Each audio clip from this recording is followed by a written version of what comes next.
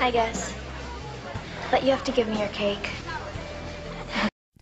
Okay, deal. You know, sitting with the kitchen help is really hurting my rap. What rap?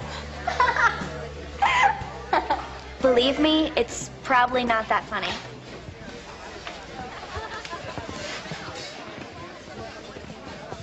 The chicken was kind of dry.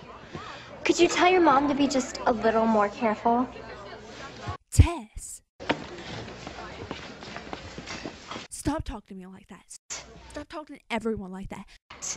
I may be the cook's daughter, and my father may not be rich, but I'm a much better person than someone feels good about herself because she makes everyone else feel bad.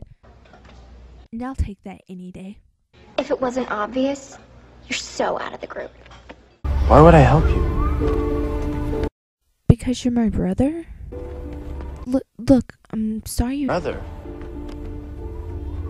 No, no, no, just please, please. You can't leave me here. Please remember. I'm Alex. I'm your little sister.